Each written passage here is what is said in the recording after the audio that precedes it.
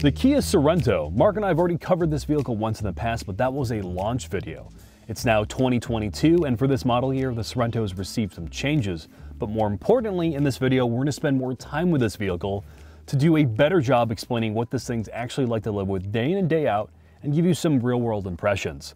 So let's talk about the interior space first. The Sorento is Kia's entry-level three-row SUV. This is not the biggest vehicle on the planet, but Kia is trying to do a lot with a relatively mid-sized or smaller package. And one of the main reasons you're going to buy this thing over its competitors is its cargo capacity. So with the third row folded down and the second row folded down, basically when you maximize your cargo capacity, you're looking at 75 total cubic feet. With the third row down, you're looking at 45, which is honestly really, really impressive. That said, with the third row up, you basically entirely eliminate its trunk. So that's something to keep in mind. That's not a problem you're having something like a Palisade or some of its competing three-row SUV counterparts. In this vehicle's configuration, it has captain's chairs for the second row, which basically feel like they're lifted right out of the minivan, which is not a bad thing. They're fairly comfortable, they have good configurability, and they fit a wide variety of body types.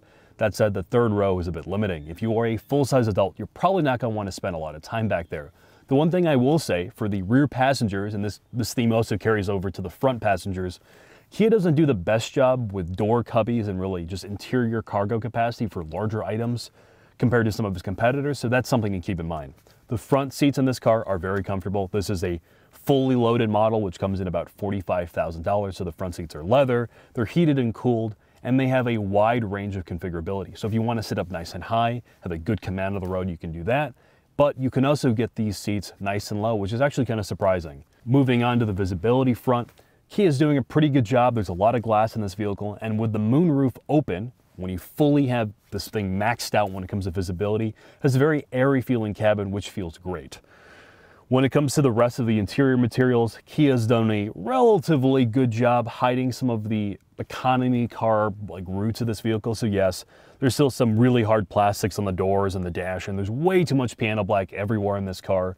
But you do have some interesting leather work. I love the brown and the blacks. I like the contrast stitching. This car doesn't feel like a complete shitbox, which is a good thing. Moving on to the way you use this vehicle, it's fairly organic, which is something I really, really like. You have physical controls for HVAC, infotainment, your drive modes are physical, and it takes you about two seconds of sitting in this car to figure out where everything is. The Bose audio system, at least at this price point, is pretty decent, and the infotainment and the safety suite in typical Kia fashion works very, very well.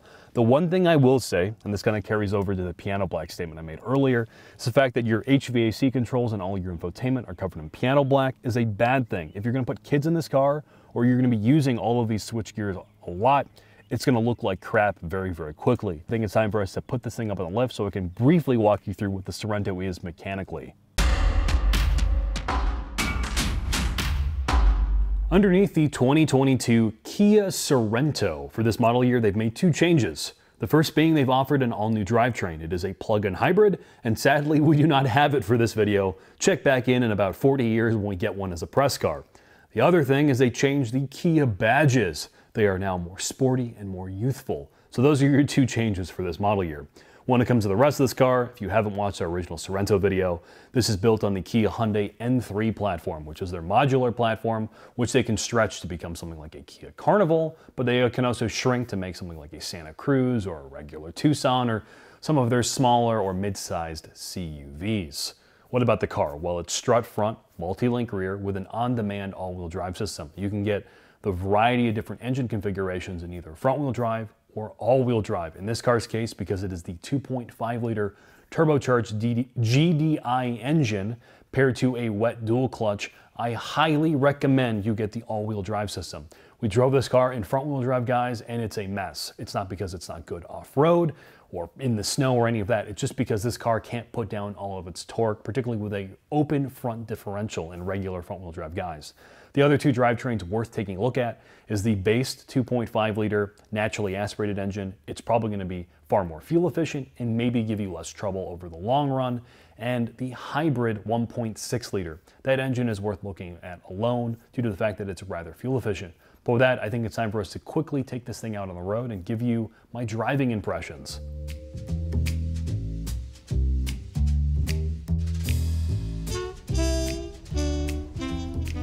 Setting off in the Kia Sorento. This baby in a sport. Turn off some traction and stability control. Ah, there we go. So what do I think about this car? Well, I've spent a decent amount of time with it, and one of the things I'm struck by is the powertrain. As we mentioned in our original video, if you're going to go with the high output four cylinder, you absolutely need all wheel drive. This car will turn into a one wheel peel machine in front wheel drive variant. And if you leave traction and stability control in or on, uh, Kia doesn't do the best job with their system. They basically just drop a boat anchor out the back. But with the all wheel drive, this car puts most of its power down pretty well. And in the corners, while no, this is not the best handling vehicle in its segment, I think honestly Mazda and even VW does a better job with the organic feel of the front and rear. This is plenty capable, and if you were just going to be putting around in this, once you turn the systems back on, it does a pretty good job. Well, again, no, this is not the most fun vehicle to drive, and yes, if you leave the systems on and you are pushing it, the car basically freaks out and shuts down the vehicle. What you can do instead is just use this as a total cruiser. The car itself is pretty quiet, despite having a lot of glass. Given its price point, it's not fatiguing for long periods of time. It's relatively soft. No, it's not the softest vehicle I've ever been in, but it does a good job masking a lot of the road imperfections and the big hits. And for a vehicle like this, particularly something you're going to put a lot of kids in and honestly probably be distracted in a lot by your rear passengers. The safety features, the lane keep assist, the adaptive cruise control, the, the alerts, like when someone pulls away from you or your, your upcoming collision alerts, for the most part, work pretty well. And again, if you need to merge or you need to accelerate onto a back road, there is plenty of passing power with this four cylinder. The one thing I will say about the four cylinder is it's pretty thirsty given my driving environment, which is mixed between highway and county roads, I'm returning in the mid 20s, which compared to some of its competitors may dissuade you given how much gas costs currently. The, the, the other thing I will bring up about this vehicle is when you're going over some bumps, and if you are a rear passenger in this car, something it does that is reminiscent of many minivans, and I think just due to the sheer volume of the interior of this car, is you can feel some flex which is a little bit disappointing, but not to be unexpected, I guess. Removing that, removing some of the at limit handling complaints, because again, this is a CUV, this is something you were buying to put your family in. It does its core functions well. It's comfortable, the safety features work well, it bundles in a lot of features for, to be honest, not a lot of money. And it's a car you definitely should be taking a look at at this price point. So, with that, let's head into the final thoughts.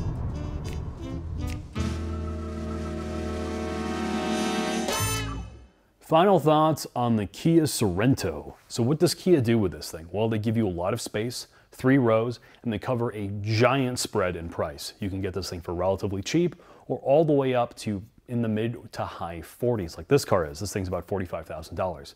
And at $45,000, Kia gives you actually quite a bit for your money. The four cylinder is very powerful, the transmission works great, and the interior electronics are excellent. Not to mention the fact that they've done a pretty good job distancing the interior from some of the cheaper trim levels with a pretty good leather and interesting design. What are the negatives? Well, it's not the most entertaining thing to drive. To be honest, it doesn't feel all that great being pushed. The stability and traction control is very invasive, and when it's off, the front and the rear don't talk to one another. And when you compare the dynamics to something like a Mazda CX-5, CX-50, or VW Tiguan, those cars do it better. So why would you buy one of these things? It's quiet, it's comfortable, assuming you find a good dealer, the warranty is pretty decent, and for the most part, I think this is a very, very competitive car given its segment, and it's worth taking a look at. Thanks for watching, and I hope to see you soon.